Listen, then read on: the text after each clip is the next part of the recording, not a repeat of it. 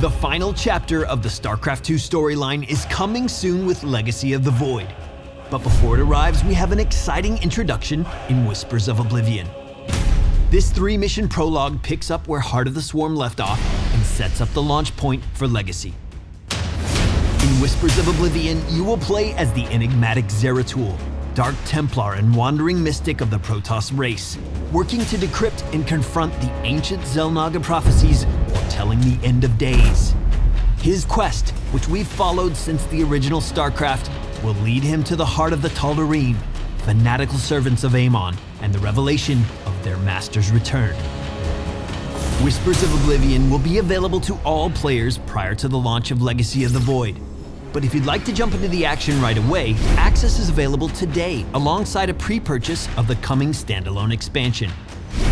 For more information and to find out how you can start playing Whispers of Oblivion, check out the detailed blog on the StarCraft 2 website. We are thrilled to be bringing over 17 years of epic storytelling to a conclusion in Legacy of the Void, and it all begins with Whispers of Oblivion.